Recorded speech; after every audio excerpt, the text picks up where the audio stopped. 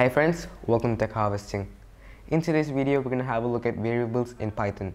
So in the previous video, we looked at how we can install Python and set up our environment and we wrote a single line of code. Today we'll be writing more code, but this time we'll be looking at variables and the different data types. So we'll look at strings, numbers, booleans and more. So let's get started. Now, what really is a variable? Well, a variable is basically a piece of data stored on your computer's memory. So it can be anything. It can be a number, it can be your name, it can be a list of items, anything at all. Now, there are different types of data you can store, just like how I mentioned. A number is a type, a string is a type. A string means, uh, we'll look into what strings are later on, but a string is basically a piece of text. And yeah, so in Python, the way we declare variables is like this. So here we give the name of a variable, we give an equal to sign, and then we give a value for it. So the variable name is basically what we use to refer to the variable. So we can get the value of the variable and we can also uh, make changes to the variable. And the value is what's stored in the computer's memory so that we that's what uh, the data that's stored in the memory is. So the name is basically kind of like an address you can use to get that piece of data stored on your computer's memory. You'll if you didn't understand it yet, you'll understand it when we're gonna go ahead and write down the code. Next, let's have a look at the data types. So there are many data types in Python, but these are the very basic ones. We'll also have a look at others like lists and tuples later on. Right now, just to get things clear, we'll have a look at the basic data types. So the first data type is the string. Now the string, as I told, is a piece of text. So it can be anything at all. It can be a name like this, or it can be, for example, a letter. So we can have letter equals e. Now the main thing about string is that it should always be within quotes. So it can be either double quotes or single quotes. Now there are also cases where you can use triple quotes, uh, but we'll look into that later on. So that's a string and it's like how we looked in the previous slide stored in the memory. So we give the name of the string here and in quotes we give the value.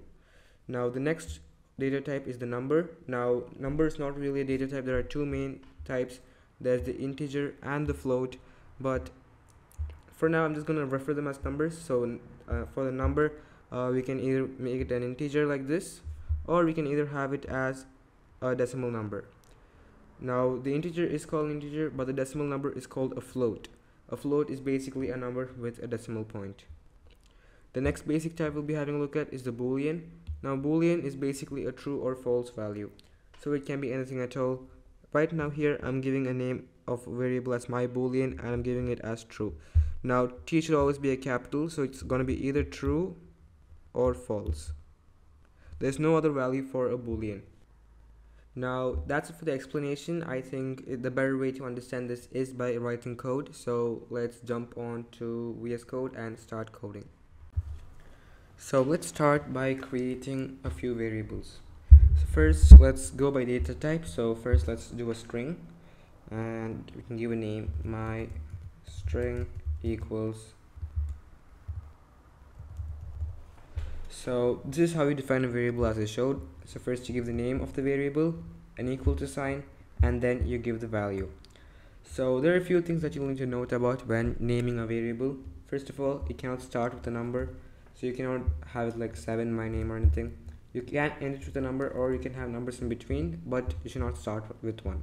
And also you cannot have spaces. So if you have a space here you can see it shows up as an error. So you cannot have spaces. If you want to name a variable then you can uh, or even if you have multiple words in your variable you can either put an underscore or you can uh, capitalize it like this. This capitalization is called camel case and this is called snake case so in python you usually use snake case where you have the underscore between the words then you have an equal to sign and which is for assigning the value and then you have the value here so if I were to run this right now, it's not print anything new and it will stay the same as you can see. Now that's because we are not printing this variable. So let's print it out. So if we can use the print function we used in the previous video, which basically prints anything we give onto the display. And in here we can give my string. Make sure you don't have any quotes here because you don't need quotes for printing out a variable.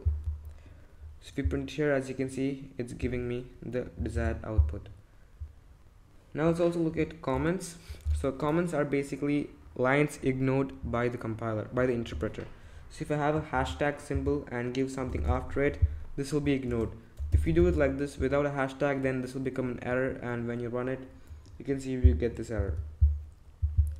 So we can have a hashtag here and specify anything we want.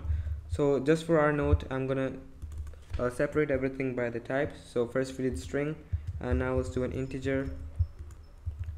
And I'm to name it my int equals for example 7 and I can print my int. So if I run this now as you can see it's giving 7 so next let's have a look at floats. So floats are also fairly simple. My float and it's basically decimal values. So you can have any anything at all. So for example here I have 45.545 and if I were to print it out you can print it like that. And if you run it you get the value. Now one good thing about using editors like VS Code or PyCharm is that you get auto completion so right now you saw that as I typed I was getting completions like this. So I can just click on it and uh, finish it off. In case you're not able to see the auto completion you can just hit control space and it will show it to you. Next let's also have a look at booleans.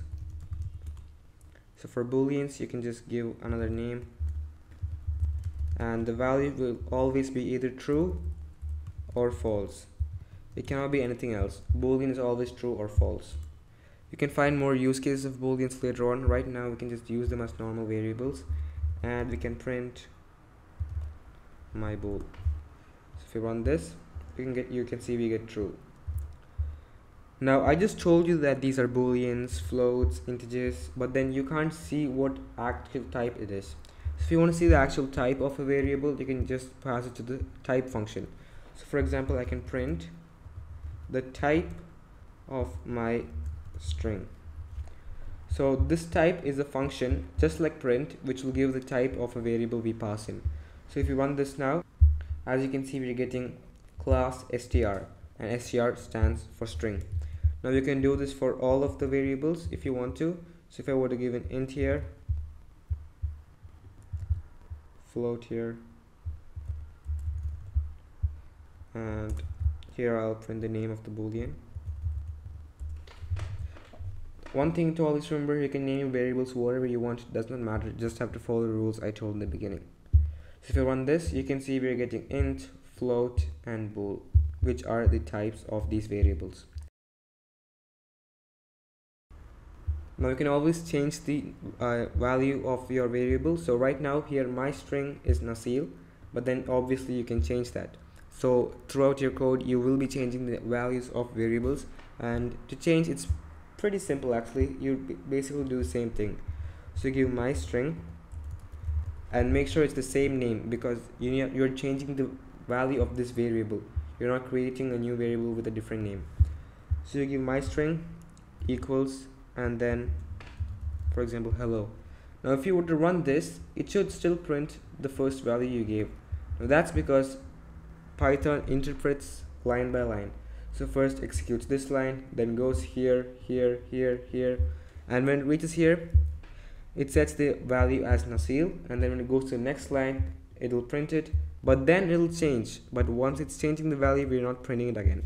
So if we were to write the same code down here and uh, run it again you can see we're getting hello. That's because the value of the variable has changed so that was it for this video. We had a look at what variables are and the different data types. There are more data types. We'll look at them later on like lists and tuples. And in the next video we'll have a look at different operations like addition subtraction multiplication and more with these variables and also look at how we can change the type of a variable from one type to another. So see you there